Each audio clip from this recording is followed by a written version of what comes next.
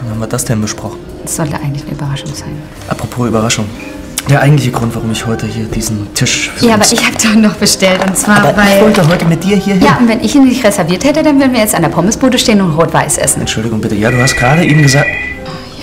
Sag mal, macht deine Chefin nicht mal Feierabend? Ah, die lutscht es lieber aus wie eine Capri-Sonnentüte. Und wer es mit sich machen lässt? Das sagt gerade der Richtige. Wie du dich manchmal von deinen Kunden schikanieren lässt, das ist euch peinlich. Mir reicht's, weißt du?